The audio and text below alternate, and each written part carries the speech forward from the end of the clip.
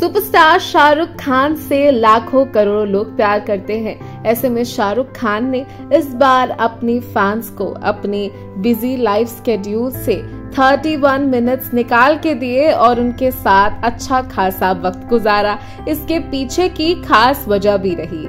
दरअसल, शाहरुख खान की मशहूर फ़िल्म दीवाना को रिलीज़ हुए पूरे 31 इयर्स हो चुके हैं। ऐसे में शाहरुख खान के लिए ये फ़िल्म उनके करियर की बेस्ट फ़िल्मों में से एक रही है। इस फ़िल्म से उनका करियर चल पड़ा था। वही उनकी ये फ़िल्म आज भी उनके फैंस के लिए बेहद स्पेशल है।